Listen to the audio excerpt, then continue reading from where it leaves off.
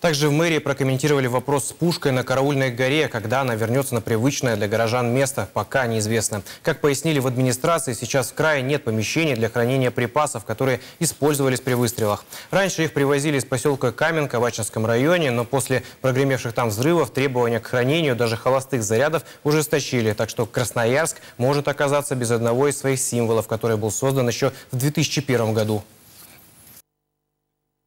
Понятно, что традиция существовала долгое время, а, что к ней красноярцы привыкли. Мы не хотим далеко отступать от этой традиции, но мы ищем все законные способы для того, чтобы понимать, каким образом это делать дальше сложные на сегодняшний момент решения, которые а, мы пока на сегодняшний момент исполнить нам нельзя, не получается сложно.